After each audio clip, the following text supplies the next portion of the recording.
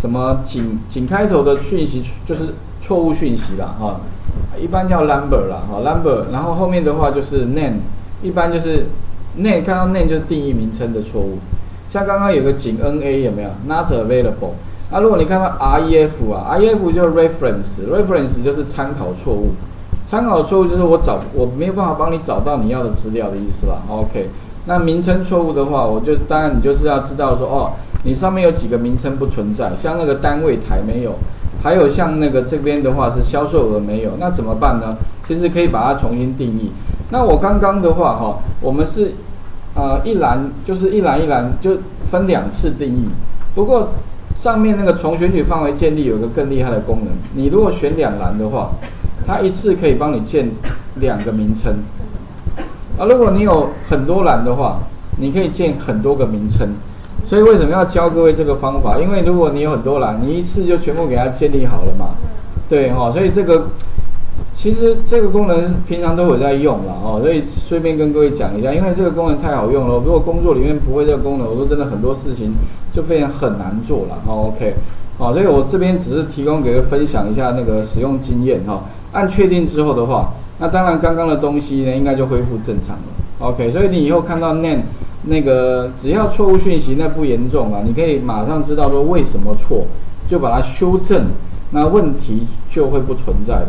哦，最怕说你看不懂那个错误讯息，会很担心，然后会觉得这到底是怎么一回事，哦，然后就很混乱这样。其实有的时候反，我觉得尽量哦用比较简单，然后易理解的一种方式做事情，你会觉得做的很很步调啦，很优雅哈之类的啦。反正这个感觉上这样哦。那另外的话呢，就是呃，如果要再产生一个所谓的什么呢？产生一个另外哈，我们这边也也另外一个，这个可能给各位做练习就好了，因为这个差不多意思啊。那个什么呢？呃，区域部分哈，区域的话，那我可以把这个工作表复制过来。复制的话，的最简单方法就拖拉加 Ctrl 键，拖拉然后加一个 Ctrl 键放开，它又多一个了，哦，就一模一样。那可以拿这个来做修改，这个的话也许叫做什么区域就可以了。拖拉加 Ctrl 键哦。就是复制工作表的意思哦，OK，那这样是最快了哈，OK，然后呢，把这边呢名称部分，其实最简单的方法就是把这个区域复制一下，哎，那其实这边也有哦，那拿这边也可以了，我们刚刚没看到哦，OK，那这边的话呢，就直接哈把它贴上就可以。那笔数部分的话，这边可以重新再来一个，不过其实如果已经有公式，你就直接什么插入函数，然后不要抓产品名称。是要抓区域，所以区域的话，刚刚应该就把它建立起来就好了。呃，这个区域，所以把这个范围选起来，然后从选取范围建立顶端列，哦，区域就有一个名称的。你刚刚已经见过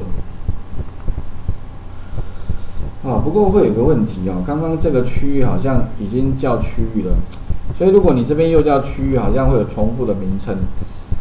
嗯，所以这边的话，我们干脆把它取名称叫区域二之类的哈，反正名称不要一样就可以了。这个部分一样是指这个，不然会跑掉。那这个可能就不能用重选与扮演键，因为它直接抓这个名称，所以我们干脆呢直接哈这边选取它，那这个范围的话叫区域二或十哈。哎，区域名称不能一样哈，它不能重复，所以我直接把它输入之后，多一个数字好了哈。假设我的习惯是再把它加一个数字二好，然后按个 Enter，那所以一样的方法呢，我们就。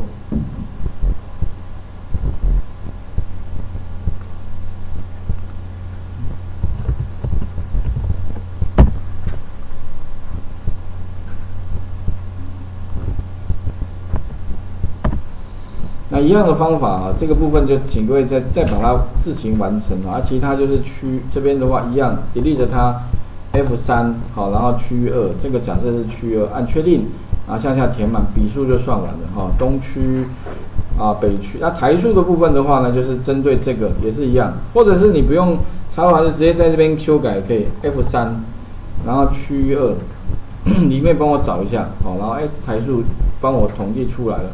那销售额的话也是产品名称部分哈，把它改一下哦，F 三，然后改区域二，这样子按打勾向下填满，哦，然后每一区每一区就算完了，哦，OK。那这个就是呃这个产品跟区域报表的简，就是一个简易报表。我们是用那个移除重复加康米服再加上那个三米服啊，再顶多是把定义名称部分再延续哈说明。那接下来的话，如果说我今天呢，我不要用这个函数的方式来做哈，我用枢纽分析表，要怎么做呢？OK。好，所以接下来的话呢，我们就来看啊枢纽分析表了哈。那所以啊，你会发现啊，枢纽分析表前置作业哈还蛮多的。那主要就是要把资料做成枢纽分析表，它可以接受的一个资料的一个格式哈。那接下来的话呢，我们就来看，假设了哈，我如果要用枢纽分析表帮我做成类似像这边各位看到的，像啊产品的一个简易报表。的一个栏数的话，哈，其实用枢纽分析表非常简单。第一个，游标，请你再切回到那个通讯产品，好。第二个的话呢，找到插入里面有个枢纽分析表，哦，那就可以做后续动作哦。那请各位一样啊，先把那个区域这个先练习，待会我们来看那个枢纽分析表这个部分该怎么做的一些细节哈。